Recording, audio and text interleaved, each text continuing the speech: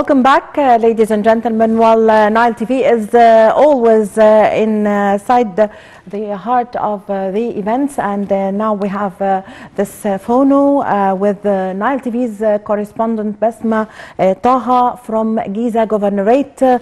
Hello, uh, Basma. Hello. Hi, Amal. Hello, Basma. How uh, is the, the voting uh, process uh, going on in Giza Governorate?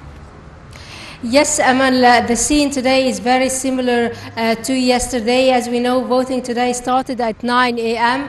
Uh, so far, everything is going smoothly and everything is well organized. Uh, from uh, 3 to 4 uh, p.m. Uh, was a break time, but after that, Egyptians or the citizens started to head once again to the voting stations to cast their votes. At the beginning of the day, I conducted an exclusive interview with an international observer who hailed the voting process uh, uh, yesterday and uh, today. Uh, all segments of society are keen to cast their votes in the 2020 parliamentary elections. Also, uh, there was a very beautiful scene that attracted the attention, uh, which is the attendance of the elderly who came leaning on walking sticks to cast their votes, believing that their voices will count and that their decisions will uh, lead to a better and also a flourishing future in the country.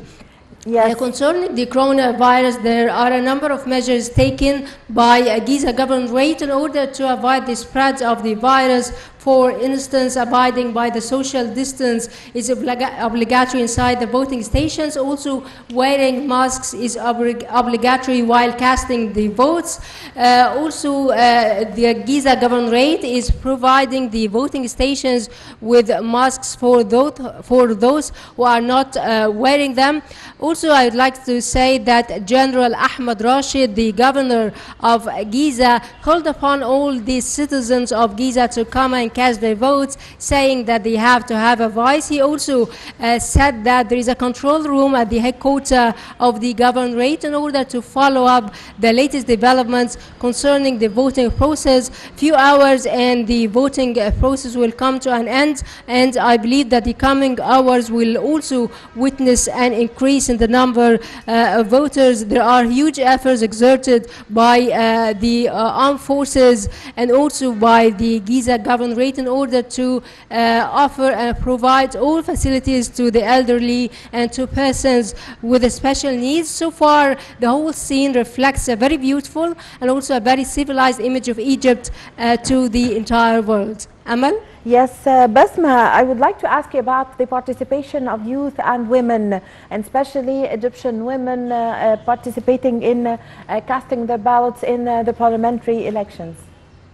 Yes, as we know, uh, Amal, Egyptian women have always been making history. They play a great and vital role in the society.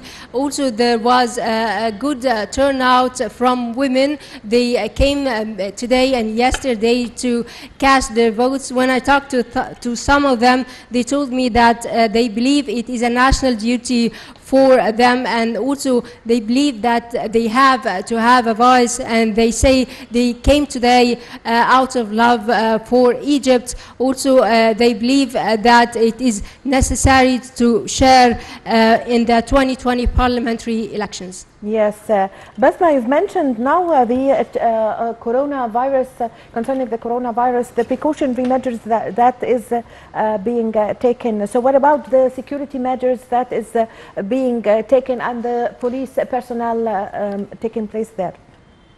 Yes, Amal, a heavy deployment indeed from the security forces are found uh, outside the uh, voting stations. Here in, in my voting station, there, are, there is also uh, the, uh, coordination between Giza Governorate and also the Ministry of Interior in order to secure uh, the voting st- stations, the surrounding areas, and also uh, the vital institutions. Indeed, huge efforts are exerted by the armed forces and also the Ministry of Interior in order uh, to secure the 2020 parliamentary elections.